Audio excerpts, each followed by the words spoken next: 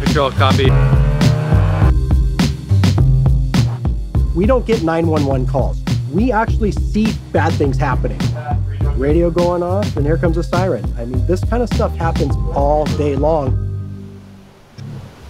The North Shore of Oahu's got some of the most infamous waves in the world. We got Pipeline, Sunset Beach, Waimea, Haleiwa, all that packed in with the Seven Mile Miracle.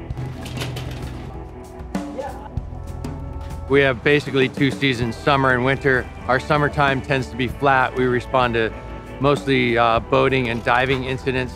And then winter rolls around and the surf comes in and with it creates all kinds of havoc. The waves can go from flat to 40 feet in a matter of hours. And we've really got to be on our toes and keeping track of what's going on.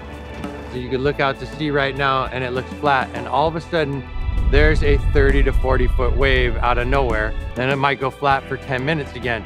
Somebody shows up in those 10 minutes. Why can't I swim?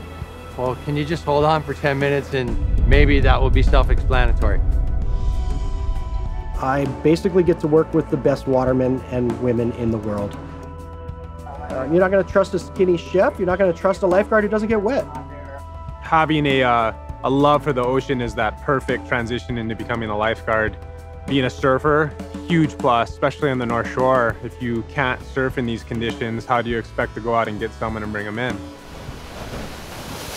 Whatever the conditions are that day, I'm, I'm, I'm always going to jump in the water. That's the first thing I'm going to do. I won't lie, I'm, I'm, I'm on my knees praying before I go out just to, for safety. But I'll swim out there and I'll always try to punch through the surf or just jump right in front of the tower, just try to get on the other side of the surf. And now I'm ready, I'm ready to go. We do our best to keep the inexperienced out, you know, but, uh, but the regulars, they're to surf it. And the moment that they paddle out the pipeline, I think most of them know the risk that they're, that they're taking. You either seriously injure yourself, you can knock your head, you can pass out, you can die. I would say that Pipeline, Sunset, Waimea, they're all double black diamonds. It doesn't matter if you are the best surfer in the world, accidents happen. We've had four of the top 10 surfers in the world go unconscious right here at this beach. Real deep hole on the left, real deep hole on the right. Keep it nice and close to shore, guys.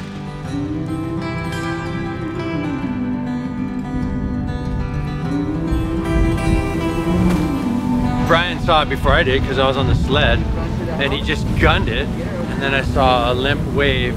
I scooped him and I'm like, Brian, you need to back up. And here comes a set.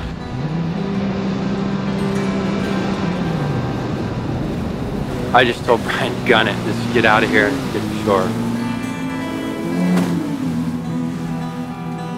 Um, and he was, wasn't breathing really good. He was pretty limp when I was holding him on the sled. He was pretty limp. A lot of times guys get hit by their boards and I thought maybe it just shot back from the leash and hit, it, hit him. He said he was pushed into a cave and he felt his ribs break. You can feel them floating around inside him.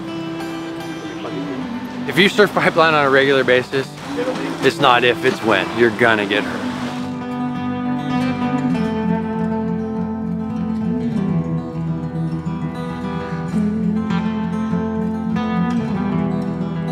Doing this job for 20 years and, and I can see myself doing it for as long as I can keep in good shape.